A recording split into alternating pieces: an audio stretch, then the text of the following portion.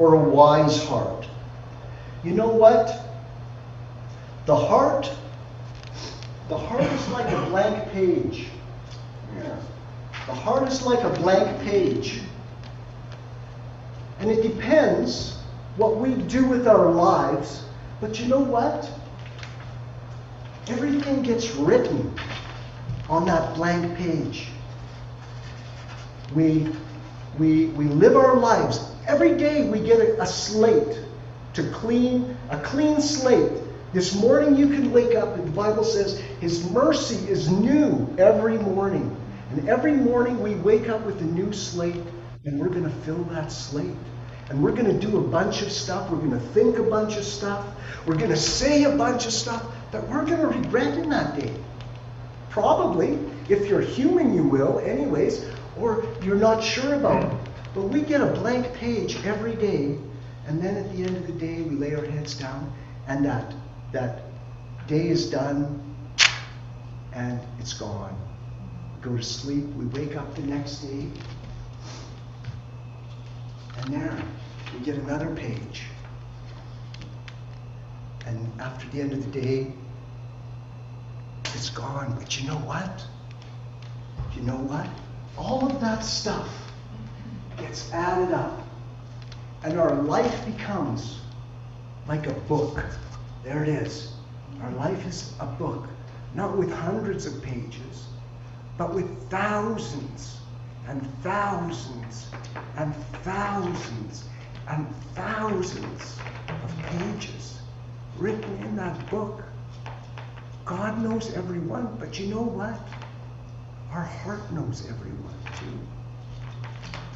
We only use, it was, I won't go there. Anyways, but so the heart, the heart is like a blank page or a book, and we get to write the stories of our heart and what is in our heart. May I ask? We need to ask ourselves the question what is in our hearts?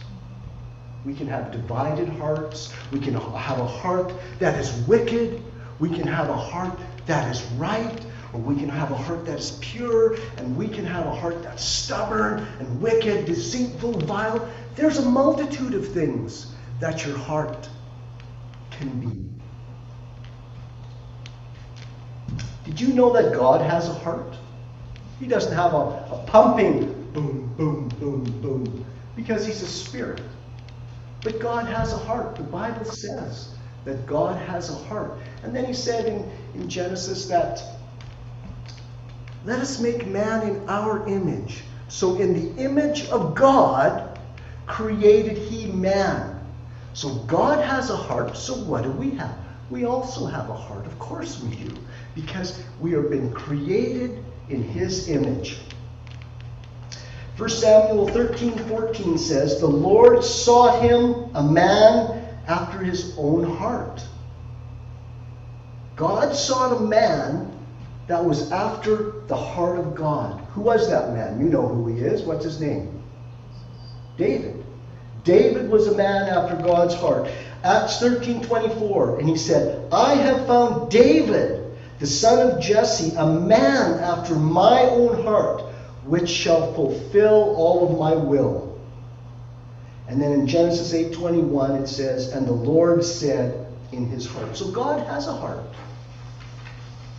God has a heart. What are some of the characteristics of God's heart? Shout them out. Come on. This is a lot easier than the, the scripture one. You don't have to quote a scripture. Love, absolutely. What are some more characteristics of God's heart? Compassion, a good one. Kind. What? Kind. Kindness, absolutely. Forgiveness, yes. Righteous. Righteousness, yes. Come on, Lisa. Let's hear one. Patience, Long suffering. Patience, long suffering. long suffering, absolutely. That's justice. God has an amazing amount of heart. And that's what we're supposed to go after. We're supposed to go after his heart. Philippians 4 7 says, And let the peace, peace, the peace of God, which passes all understanding, shall keep your hearts and minds through Christ Jesus. How about Galatians 5:22? But the fruit of the spirit is love, joy, peace, long-suffering, gentleness, goodness, faith, meekness, temperance. You know there's one I haven't mentioned yet, but the heart of God, the heart of God is a heart of wisdom. Okay, ain't much, not much sound, Pearl. What do we do now?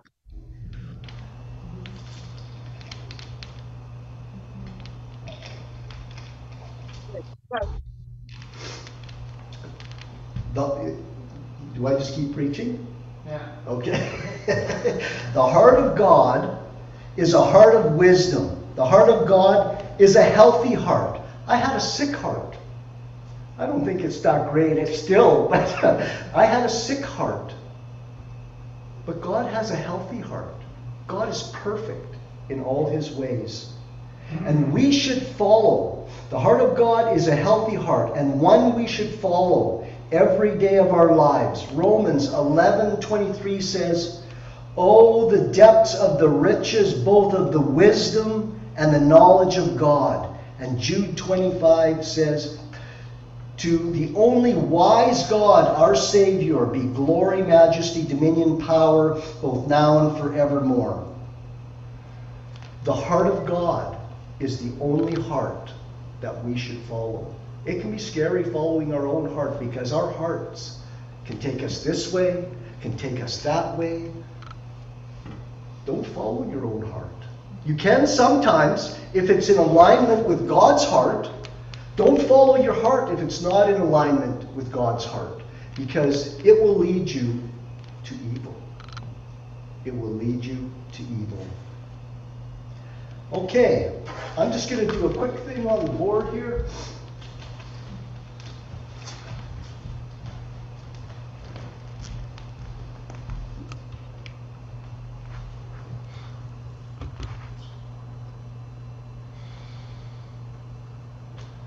The heart of God is a wise heart.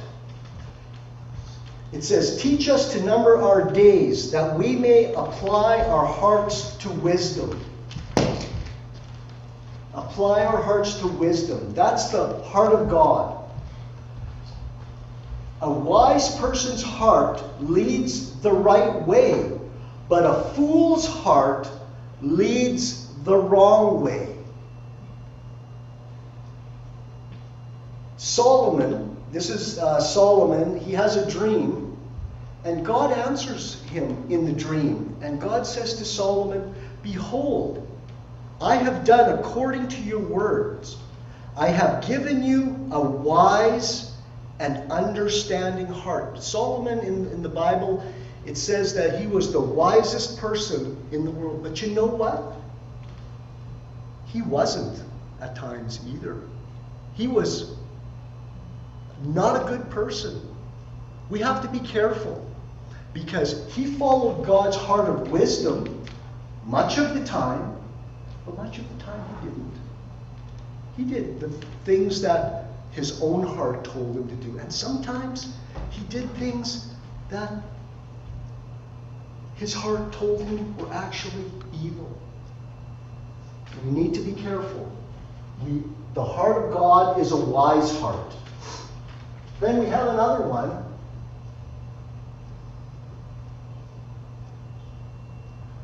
We have the heart of man, and it's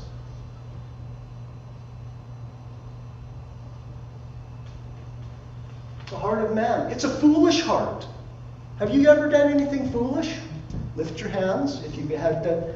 Okay, the rest of you aren't telling the truth because we've all done foolish things. And we can lift up both hands on that because even in our old age, we do stupid and foolish things. True or false? It's true. We live, the heart of man is, in essence, it's foolish. And then there's one more heart that is on the very opposite side. We have the heart of God, we have the heart of man, and then we have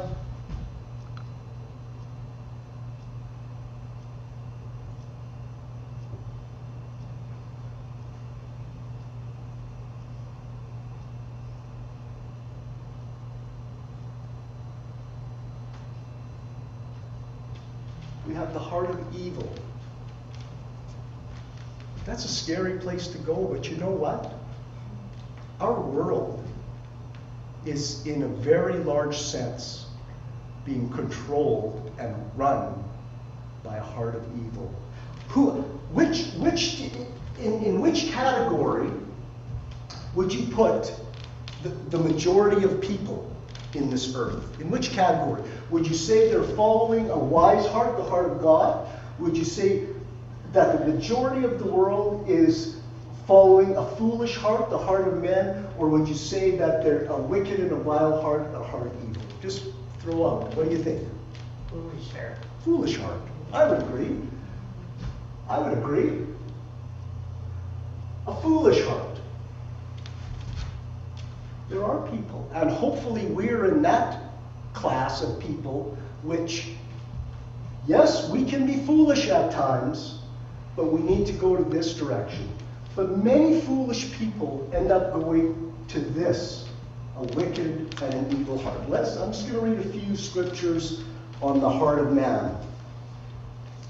The fool has said in his heart, what?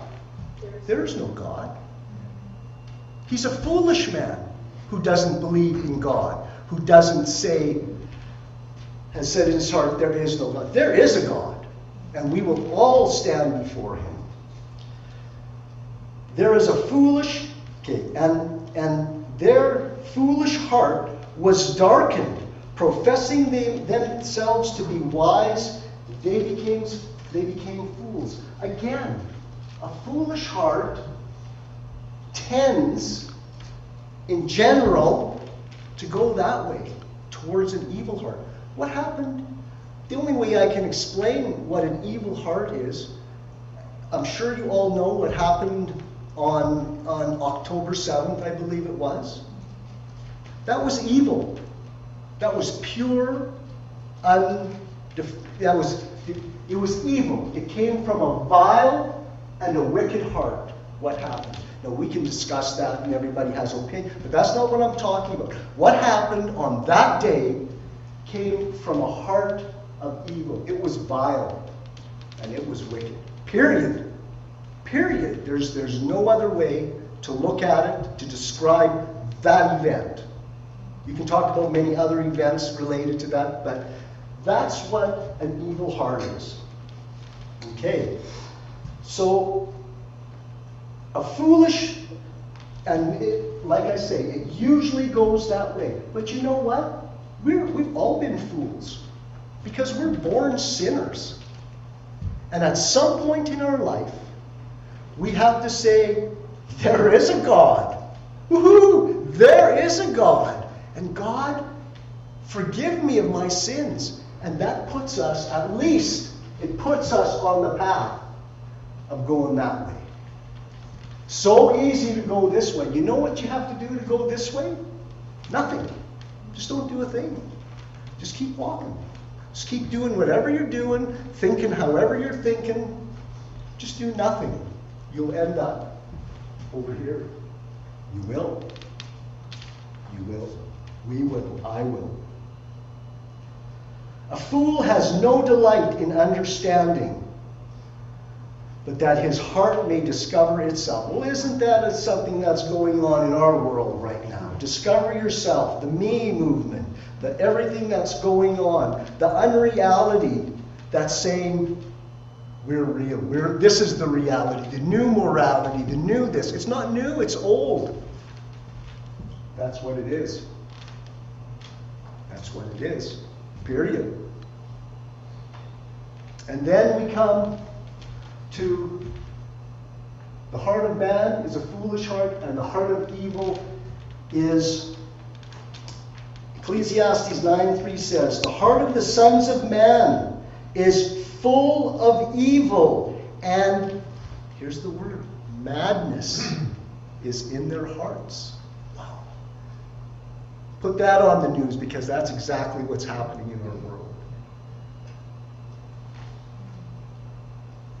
Is madness in their hearts while they live. Genesis 8:21 says, "For the imagination of man's heart is evil from his youth, And God saw the wickedness of man and was great in the earth, and that every imagine of the thoughts of his heart was only evil continually. Just do nothing. Do nothing. Do nothing. This is where you will end up. That's where you'll go. You don't have to go that way. You get a fresh piece of paper every day. You can make decisions every day that will change the course of our lives, my life, your life. We can sit on the internet and watch pornography if you want. You know where that's going to take you? Right there. It's not going to take you that way. It won't do it. It'll take you this way. You can be mean and obnoxious. You can, and it's going to take you that way. It's going to take you towards the heart of evil. Okay.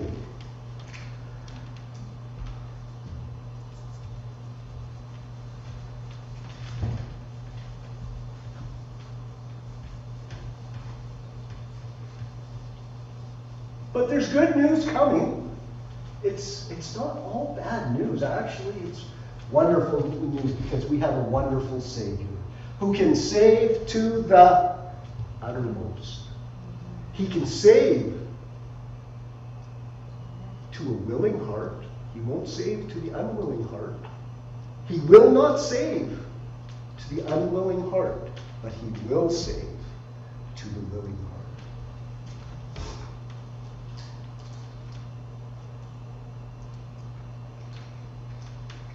heart. Okay, just one more thing, that I'm going to tell you a short story to end this.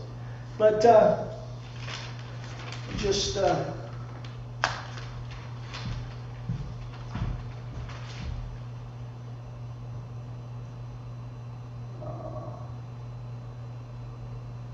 you know, just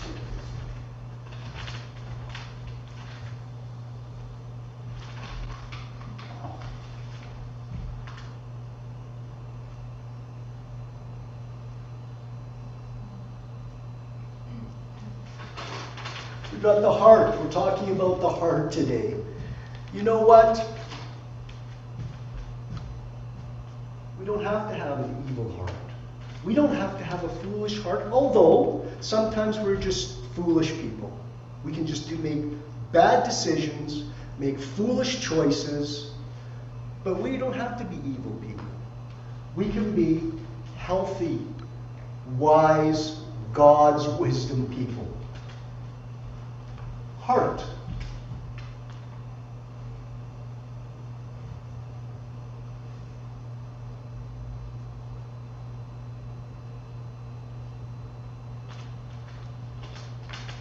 He heals the broken hearts.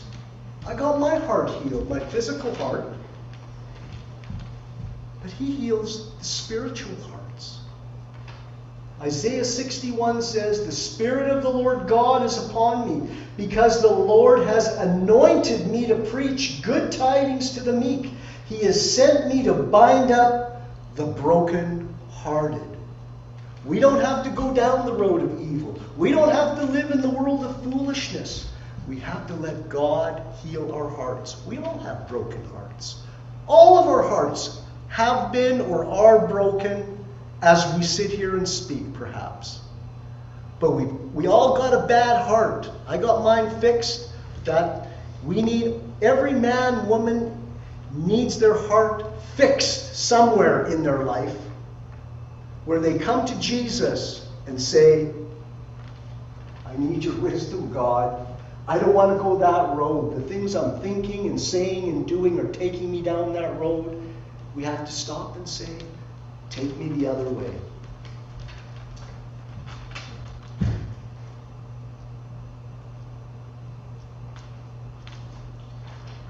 Eternity. Ecclesiastes 3:11 says, "And he has made everything beautiful in his time, and he has set eternity in your heart."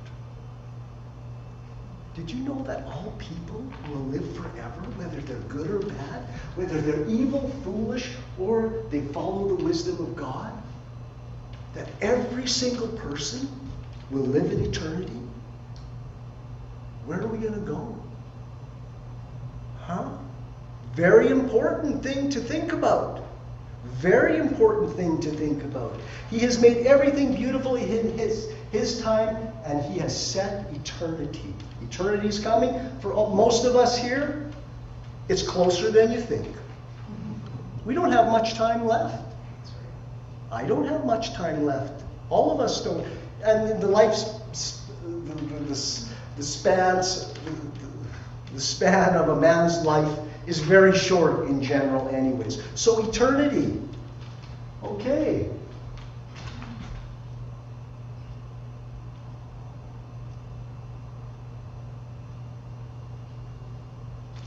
Okay, all of your heart.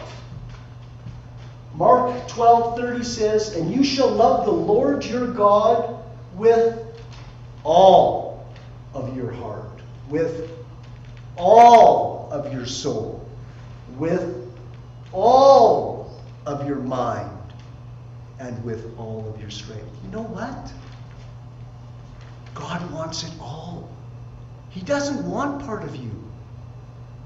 He doesn't want part of you. We can't come to we can't come to him and say, "God, I want to go to heaven and I'll give you a piece of me." It doesn't work that way.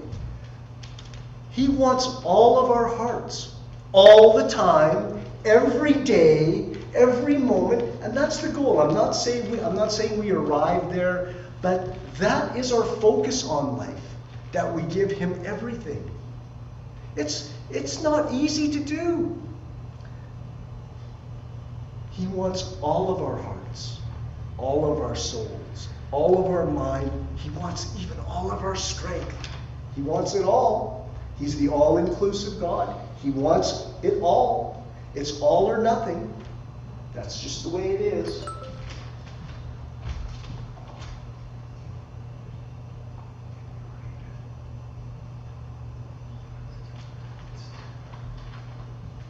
We sang this song. Renew, restore. Psalm 51, 10 and 12. It says, This is David when he was doing foolish things. David was a fool from time to time, just like all of us. We do foolish, stupid, stupid, and some stupid is worse than other stupid. His was stupid, stupid. When, when, he, when he took Bathsheba, but here he says, God, please forgive me. Create in me a clean heart, O God, and renew a right spirit within me. Restore unto me the joy of your salvation and uphold me with a right spirit. Wow. We get, even in our foolishness, with a right heart, with a willingness to ask for forgiveness, to change our ways, He will restore us. He'll renew us. He'll keep us on the path going that way. You want to go that way. You don't want to go that way. Keep doing nothing and you'll go that way. Keep doing nothing. Don't, don't seek God. Don't pray. Don't ask. Don't, just keep doing nothing and you will arrive on the other end.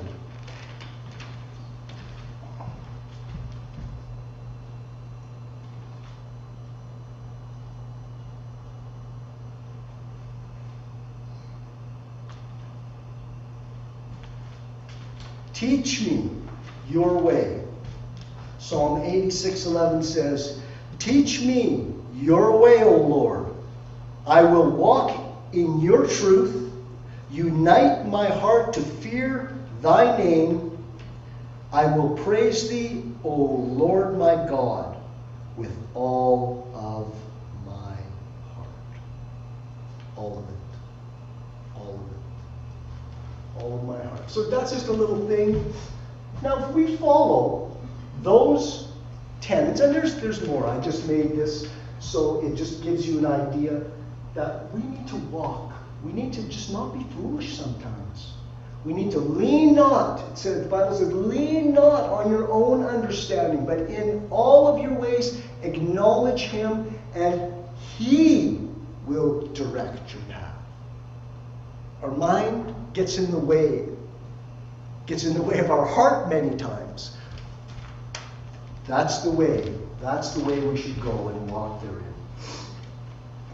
Okay. I'm going to leave you with two scriptures, tell you a quick story, and that's it. Romans 10:10 says, "For with the heart man believes unto righteousness. With the heart man. Not with the head man believes. No, no, no. With the heart. The heart is the eternal thing. When when when Jesus returns, He's just going to call the hearts back to him. They're his heart. All the ones that have sought him have walked his way. It's all about the heart. Christianity is all about the heart. The in the, the, the innermost being. He knows the thoughts and the intents. He knows when you're lying to him. He knows when you're being untruthful with him. He sees our hearts. You can't. The Old Testament Jews, they thought they, he couldn't see. That's why it was they had a hard time. Because he's always looking at the heart. He always, I'm going to say it one more. He always, always looks at the heart. He knows what's in your heart. He knows what's in my heart. You can't hide it. Everybody thinks that you can hide it. You can't hide it. He knows you better than you know yourself. So with the heart, man believes unto righteousness, and with the mouth confession is made unto salvation. And Ephesians 1:18 says, I pray that the eyes of your heart may be enlightened, in order that you may know the hope to which he has called you, the riches. This is what he wants for us. He's called you the riches of his glorious inheritance in his holy people. He wants to enlighten your hearts. And He wants us to walk after that enlightened heart. Okay, my story. Story time here. I have something. Rick, do you have that picture? That, uh, that Mark? I have something in my pocket here. I'm going to tell you just, it's a, a five minute story and we're done. This is this. This is that there. Oh, where'd it go?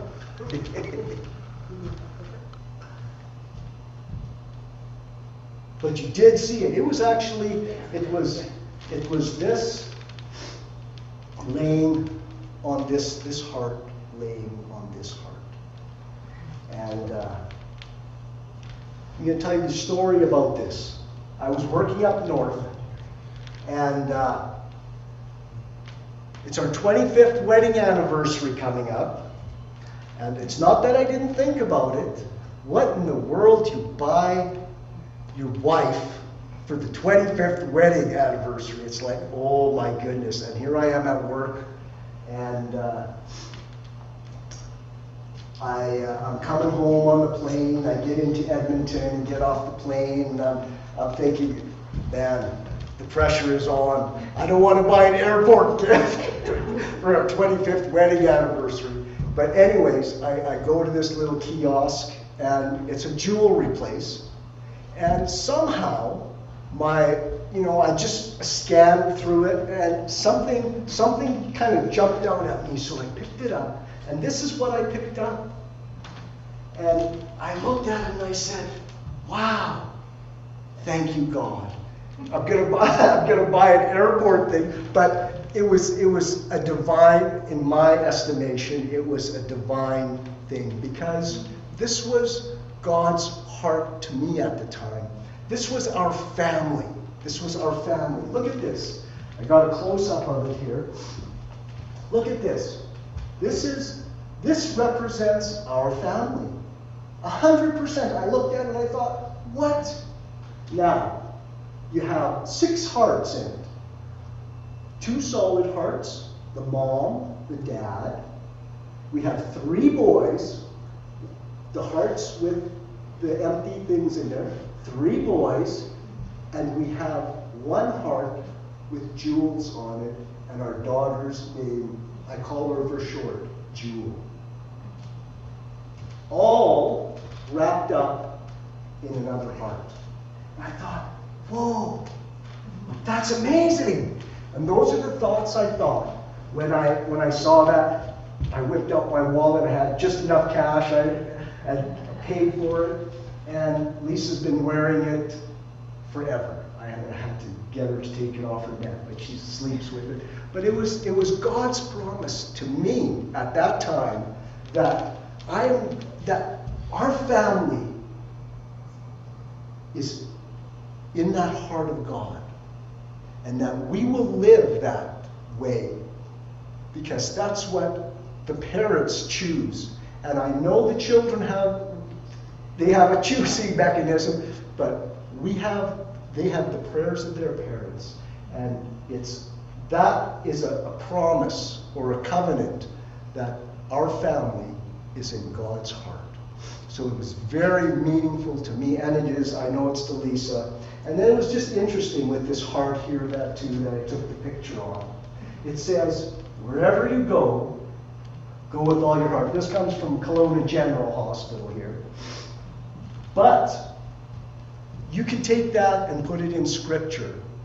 And here's what it says. It's a little bit different, but in, uh, in Ecclesiastes 9.10, it says, Whatever you do, do it with all of your might. And that says, wherever you go, go with all of your heart. In other words, it's saying, just give it. Go for it. You can do it. And so they could have put Ecclesiastes uh, 9, 10, but I don't think they would have done that. So, anyways, that's the story about our heart. And I hope just a couple few things might click with you with this with this message. And yeah, let's not be foolish people. I know it's so easy to be a foolish people, well, foolish in different areas of our lives. But let's not be foolish people. It mostly takes us the wrong way. It takes us towards evil. Let's be wise people that reads the Word of God, that studies it, that tries to understand it, that the, the illumination of the Spirit can come upon us, and it, it takes us towards God, an eternal life. There's eternity in all of our hearts here. Anyways, and then we just have the one song, Rick, that uh, you could just maybe turn on. And uh, it's a beautiful song. It's by Delirious, and it just talks about the heart.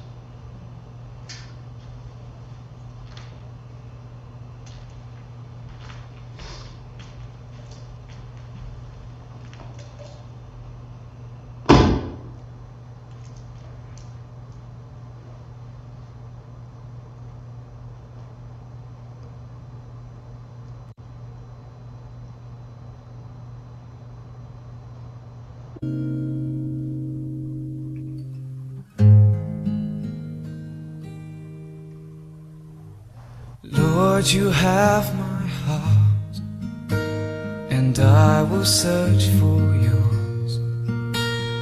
Jesus, take my life and lead me on. Oh, Lord, you have my heart, and I will search for yours. Let me be to you a sacrifice. And